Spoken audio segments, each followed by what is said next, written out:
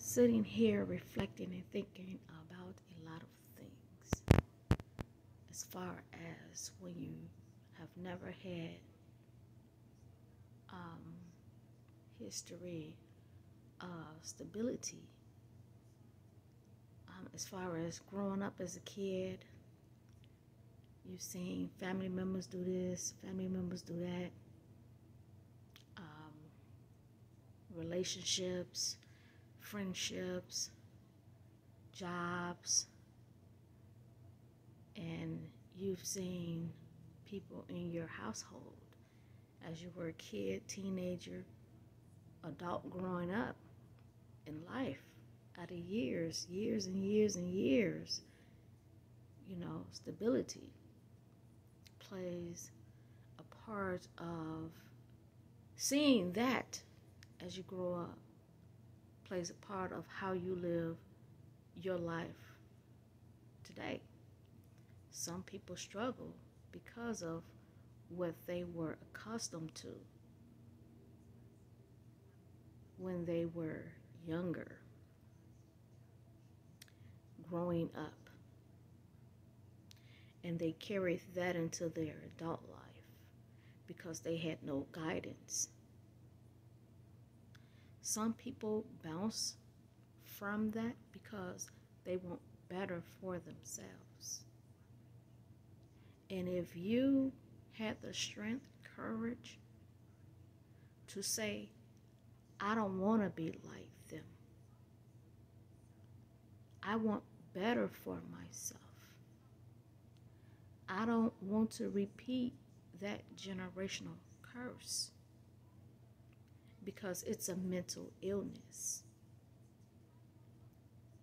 So we have to do better.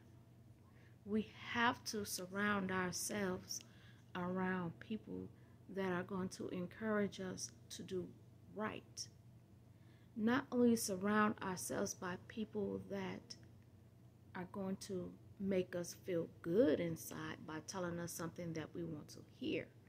There's a difference between telling us what to do that is right versus telling us something in our ear that we want to hear. There's a difference. Now, if you have those friends and family members that are putting things in your ear because it makes you feel better about yourself, yes, we want that. But at the same time, we don't want you to be putting something in our ears just because it sounds good.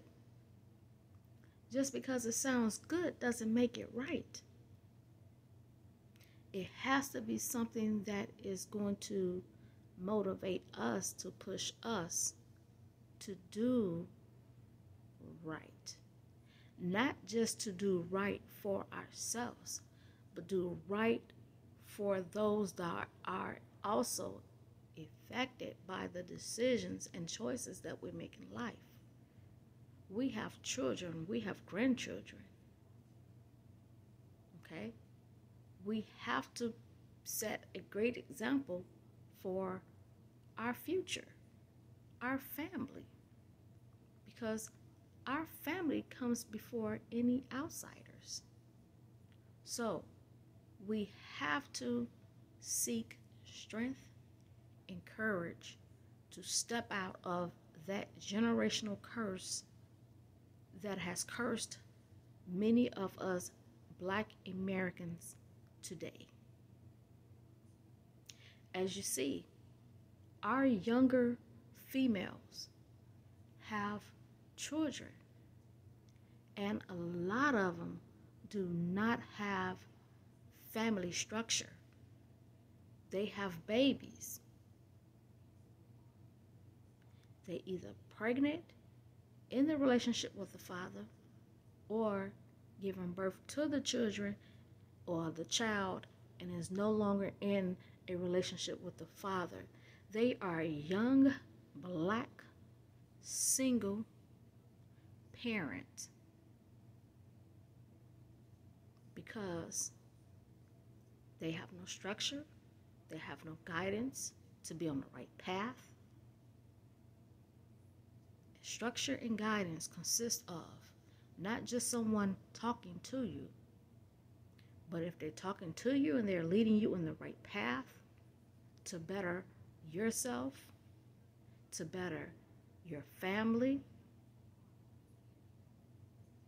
then they're not meant for, they're not meant for, to be in place for you. They're they are there for their own whatever reasons it could be selfish gains who who knows okay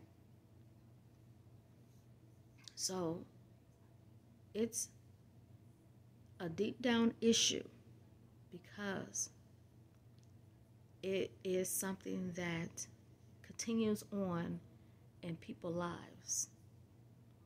And we, as black American mothers and fathers, have to break that generational curse so it won't spill into our own children.